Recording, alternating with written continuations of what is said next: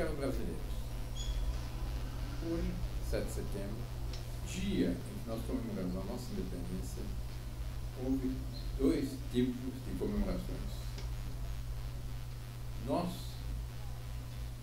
comemoramos uma Santa Missa pedindo, em ação de graças pela nossa independência e pedindo as bênçãos do céu para a continuidade da nossa história, para que o Brasil venha a realizar os desígnios gloriosos que estão reservados no plano da Divina Providência.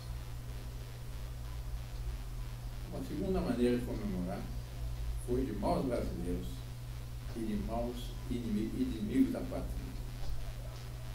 Isso está nos jornais, nos principais jornais de hoje. Luto pela Amazônia.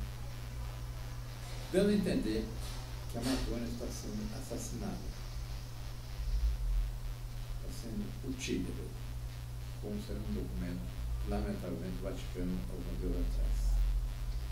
Uma página inteira de um jornal, que é certamente caríssimo, paga por quem?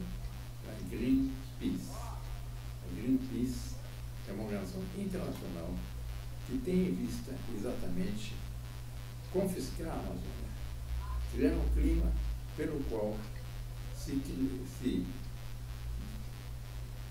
decrete a Amazônia como patrimônio da humanidade.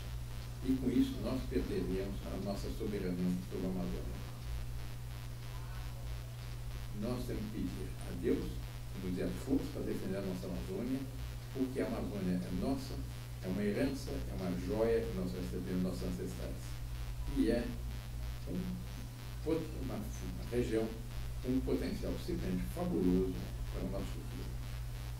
Que Nosso Senhor nos ajude, que Nosso Senhor Aparecido nos abençoe, que Deus Nosso Senhor nos proteja. Façam vocês também a sua parte.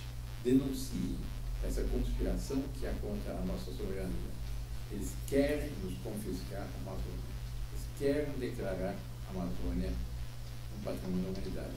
E há, infelizmente, jornais que cedem, talvez por dinheiro, quem sabe até por terem cumplicidades com esses inimigos da nossa pátria, e que publicam esses anúncios, dando a entender exatamente que nós estamos destruindo a nossa Amazônia, nós estamos queimando a Amazônia. Isso não tem nenhum fundamento na realidade. Estudos publicados recentemente pela Embrapa, estudos publicados pelo Chico Graziano, que é um especialista na matéria, mostram que o meio Amazônia está praticamente intacto, não está sendo queimado. Não nos deixemos levar por esse engodo, por essas falácias, por essas mentiras. Saibamos defender a nossa Amazônia. E Deus Nosso Senhor, Nossa Senhora Aparecida, a qual o Brasil foi consagrado pelo nosso primeiro imperador, logo depois da independência, nos proteja.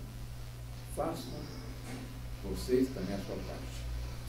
Defendam Amazônia, difundam isso, denunciem esse engodo, essa falácia, para nos ajudar nessa campanha em preservação desse tesouro que nós recebemos maiores que nós prestaremos contas aos nossos descendentes se nós não soubermos defendê-la hoje e não criarmos um ambiente, um clima, para que todos os brasileiros tenham a Amazônia como um patrimônio nosso e só nosso.